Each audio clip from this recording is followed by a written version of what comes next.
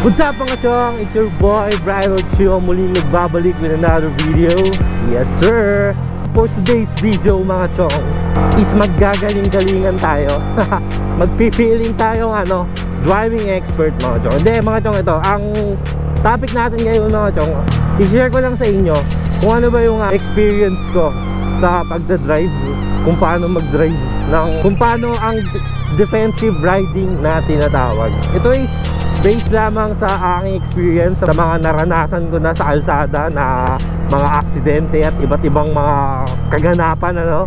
So ibabahagi ko sa inyo mga chong kung ano ba yung natutunan, natutunan ko sa 8 years na pagmamaneho ko ng motor. So dalawang klase ng motor na ang nawa ko. Isang naked yung RKS 150 natin at itong R15 natin na sports bike. So bago natin simulan ng vlog syempre ipasok muna natin ang intro So yun na nga no, mga chong. Ito, pusahan natin dito mga chong sa paahon. This is a perfect example. So always mga chong natatandaan nyo kapag paahon Dapat high rev High rev palagi Para hindi mabibitin yung makina nyo In case of emergency di ba? Lalo na kapag may angkas. Ito may aso. Pag may aso, ingat kayo sa aso. Ba kasi yung ibang aso mga chong masyadong ano, eh, galit sa pogi. Hayop ka talaga! Ang ganda mong lalaki! High rev lagi. Ano ba yung high rev mga chong? Pag sinabing high rev yung uh, halos umiingay na yung makina. Mas maganda na yung ganun mga chong. Pero hindi naman uh, totally na nahihirapan na siya sa pag-akyat no? Yung hirap na yung makina hindi naman ganun. Yung high rev galang yung tama lang. Yung sakto lang kumbaga. Syempre mga chong unang una sa lahat ano? Pag sinabing defensive rider. Sila yung ano unang una sila yung may mapagbigay, marespeto sa kalsada, marespeto sa kapwa riders, di ba? Sila yung ano, hindi kumbaga, yung kumbaga nagda-drive sila and hindi sila nagre-react base sa kanilang emosyon, okay? So nagre-react sila base sa kanilang kaalaman. Ganon. Kasi kapag sinabing defensive riding mga chong, kahit anong uh, kahit anong init ng ulo niyan, hindi yan magpapadala sa emosyon. Alam niyo 'yon? Do you feel me? yes sir. So siyempre yun yung unang-unang pinakamahalaga mga chong. Attitude, attitude sa kalsada. Respect others so they can respect you. Wow! Inglesera Putangin na Dahil defensive riding tayo ngayon Ayusin natin tong ano natin. Kailangan maging mabuti tayong ano Example sa mga subscribers Sa mga manonood. Yan Yung ating side mirror Siyempre, may side mirror tayo, gamitin natin ang tama. For the sake of this vlog mga chong, gagamitin natin yung side mirror natin, no? Kasi, ginagamit naman talaga ang side mirror. Yan. So yan mga chong, ang side mirror, always gamitin, left and right, kapag bago kumabig, bago lumiko, bago lumiko, laging tumingin sa side mirror. Yan, no? Mas okay pala pag naka side mirror eh, hindi mo na kailangan gumanon ganun, no? Kasi kapag hindi ka naka side mirror mga chong, kailangan iikot mo talaga yung ulo mo ng mga bilisan ganun para makita mo talaga kung merong, ako merong papadating na mas mabilis sa'yo bago ka overtake, bago ka lumiko, ganun. Siyempre, wear proper gears, no? Hanggat maaari, kung kaya magpantalon, magpantalon, yan. At sapatos, huwag magchinelas. Hanggat kaya, mag-gloves. So, huwag niyong gagayahin mga ito, di ako naka-gloves. And naka-short. naka-short lang ako ngayon professional kamote lamang ang gumagawa ng mga ganito mga chong yung mga batak na sa alsada ilang disgrasya pa naman ng ano natin eh. Naranasan natin eh no? And yun mga chong yung nakita nyo kanina umu-overtake ako diba sa kanan? So maling mali po yun mga chong. Siyempre, kaway muna tayo sa guard. Ito mga chong, dahil palusong ang kalsada na to, yan. Bibigyan ko kayo ng ano, ng safety tips, drive, ano, defensive riding professional of the world. What? Kung paano mag-drive sa palusong. Siyempre mga chong, kapag palusong, dapat mas maingat tayo mag-drive. Kasi yung, uh, lalo na kayo, naka-sports bike tayo, yung bigat ng katawan natin nandun sa harapan. Kapag namreno ka bigla, di ba, mas ano, mas mas delikado. Lalo na hindi naman ang uh, ABS tong motor natin, wala naman siyang ABS, anti-lock braking system. Kapag palusong mga chong, laging naka engine brake okay? Gear depende kung ano kung gaano kalusong yung isang kalsada. Tulad nito medyo palusong talaga siya ng sobra. So naka second gear tayo nakalalay tayo sa brake foot brake sa hand brake mga chong ayan. So wag na wag kayo mag neutral kapag ayan o diba naka neutral ako. Ang bilis oh kapag nag-neutral ka mga chong hindi mo makakontrol yung speed ng motor mo kahit magmamreno ka sa paa at handbrake. Siyempre mas maganda pa rin yung may, meron kang um, engine brake para nakokontrol mo pa rin yung speed mo kapag palusong. Ito sobrang lusong dito mga chong. So painggan nyo yung makina ng motor ko. Yan umiingay na siya. Pag umiingay na syempre dagdag lang kayo. Pero wag pa rin kayo mag-neutral. Mas safe to mga chong. Hindi naman siya Lagi ko naman itong ginagawa. Lagi naman akong dumadaan dito. Hindi naman nauubos ang aking clutch lining So goods na goods pa rin naman. Paano hindi ma-dead sa pagmamotor Yun. Gago! And kapag palusong na gano'n And traffic mga chong iwasan nating umovertake ng umovertake no? Kasi delikado po yun. Packet naman ng kalsada mga chong maintain your speed lang. High rev low, low gear high rev maintain your speed kapag ah, nasa intersection ganun pa rin magme-menor ka pa rin. Kasi hindi natin masasabi kung may tatawid. Yan ika ganun na tama pag overtake mga chong. Sa kanan po. Ay sa kaliwa kasi bakit sa aliwa mga chong? Mas, ah, hindi ka masyadong blind spot sa ano sa mga drive kapwa mo rider sa tricycle. Yan mas kita ka nila sa sa jeep sa kotse sa motor pero pwede naman. Hindi ko naman sinasabing ano bawal bawal talaga as in na mag overtake sa kanan. Kasi delikado delikado naman talaga. Pero syempre dahil may mga pagkakataon talaga na kailangan nating umovertake sa kanan hindi natin maiwasan yung sobrang traffic. Alam aware naman tayong lahat doon. Ano lang talaga doble ingat lang talaga tayo and um, iwasan natin yung ano iwasan natin yung sobrang ah, pagsingit talaga ng matindi. And syempre kapag may nagpapabomba sa inyo bomba lang ng bomba. Huwag kang manghihinayang sa gas. Gunggong! ang gas na papalitan yan ng ligaya na maihatid mo dun sa nagpabomba yon priceless yon Nice. And syempre mga chong, before umalis, make sure na ano na gumagana yung mga preno mo, 'di ba? Maayos yung ano braking system. Yung mga gulong mo hindi flat. Yun yung mga basic lang mga chong na ano tips para hindi ka mamatay sa pag ano pag drive. Gago! Magkanan tayo dito. And mga chong, always gamitin ang signal light. Every time na may gagawin ka, kakabig ka sa kanan, kaliwa, signal light, o overtake ka, signal light. Huwag magtipid sa signal light mga chong. Kasi yan yung ano eh, language natin sa alsada. So hindi naman ano, eh, hindi naman natin pwede sigawan yan. Oy, kaanan na ako, tangin na mo ka. Hindi naman pwedeng gano'n, di ba? So always use your signal lights para alam ng nasa likod natin and nasa harapan natin kung saan tayo dadaan. So pagsisingit mga chow yan, singit lang. Singit lang ng singit hanggat kaya.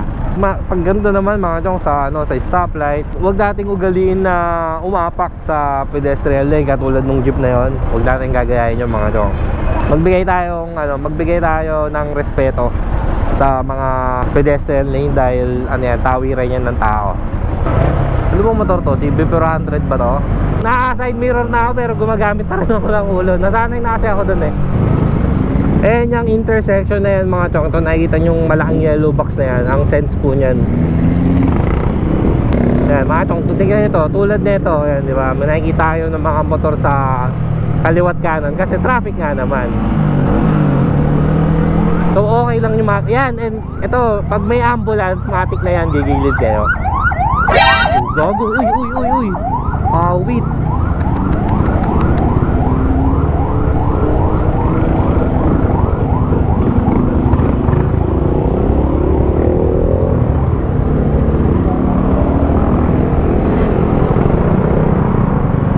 Okay ka lang, Tay? Ingat po ha, ingat po.